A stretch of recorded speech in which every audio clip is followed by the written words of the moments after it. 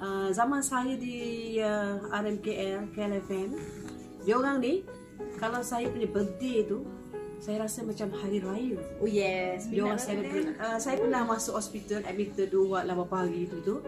Bilik saya tu penuh dengan bunga. Sahabat-sahabat KLFM ni pagi. So sweet. Raya Thank you. dirayakan. Terima kasih banyak-banyak sahabat-sahabat KLFM. Saya di KLFM tu uh, rakan kenangan lalu Zulastri. KLKL. And then uh, Hazri. Zulastri ni dulu kan dia selalu tipu lagu saya tau. Kopi. Copy and paste. Tu tak? Eh, dia sangat patuh, dia sangat komited. Dia ikut saya mana saya pergi. Saya datang 6 pagi, dia datang 6 pagi. Saya keluar, dia keluar. Saya lunch, pergi lunch. Saya pergi sogok, dia ikut. Yelah. Ah, betul. Bodyguard. Dia sangat baik. Dia sangat baik. Ah, tapi itulah.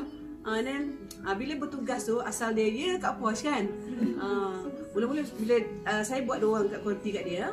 Ah, so kita pun guide dia macam mana nak bertugas kan. So bila saya kata, "Okey Rami, eh, ah, ya kat pos." Ah, ah, ya kat pos. Dia dah dekat. Ah, itu dia. Bila saya alihkan nak pindah dekat dia tu, nak bagi dia sambut, ayah kat pos. dia cakap, ayah kat pos. Itu mula dia. Lepas tu lekat lah. Kena Zulastri pula tambah-tambah lagi, tak jadi. Itu je lah. Azlan, Lokman, Prema, Julia. Uh, masa list tu saya dah tak ada. Saya dah keluar dan list masuk. Ada Mimi, uh, kita sempat sama. Izan. Ada ni Aida, ha, Izan sekarang dah cari cikgu. Hai Izan, good morning. Ha, dia cikgu kan. Lokman, uh, Abang Makno, ramai lah juga kan. Ha, Nur Ain Ibnu pun pernah kat sini. Salihuddin Haji Ramlan. Dia kalau mula-mula dulu kita nak ingat dia jauh lagi kan. Ada Nur Amin. Ha, Nur Amin tu memang popular lah. Azana bin Zainal sangat popular. Kamal Hassan, Sazali Said, Halim Din. So memang kita ada kat sini waktu tu. Naimah. I- Kembar saya. Eh lupalah. Naimah. Oh, Naimah sekejap. Hmm, kan? Tapi dia tu more tu MC kan. Lepas tu dia pun dah kahwin orang kaya. Dah berhenti lah. Eh tak lupa juga Prema tau. Prema pun Minachi. Mentor saya. Minachi lah sini. Ada? Saya tak ada saya. Tak ada. Oh, Minachi ada. Ah, so saya tengok sekarang yang tinggal dekat sini hmm, yang lama-lama tu Mimi ada. Mimi dengan Papa Ray. Dengan Zulastri. I think dengan tu je yang lama kan? Pul. Ah, DJ Pul tu dah tak ada. Okey, jangan lupa Izani Zakaria tau. Dia tu memang suka sangat dengar radio. Sekarang dia buatkan stesen radio dia sendiri. Ya.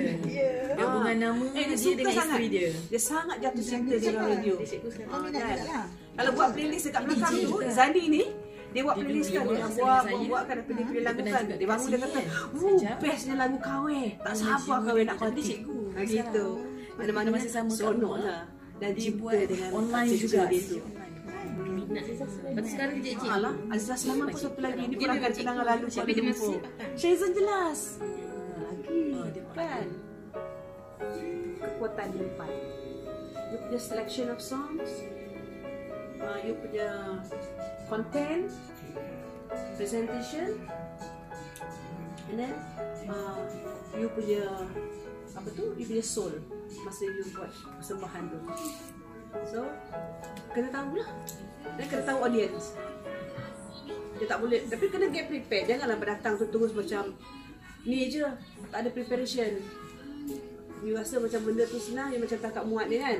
So memang zero lah you punya berhenti so kalau you betul-betul dah buat you punya preparation tu ha, daripada you buat you punya playlist you dah prepare apa you nak cakap content you dah tahu bila you nak nanti apa kan. So you dah tahu apa tu so nanti bila you konti you seronok because you dah prepare. And then bila you keluar daripada konti tu you akan dapat satu self satisfaction kepuasan. You dah. Ha, so kena prepare lah. Kalau you rasa dah keluar daripada konti tu kau tak rasa apa-apa agak prepare lah tu. Eh? ha, so just do the homework lah. Tapi yang penting sekali akak nak beritahu don't believe in strangers. Eh?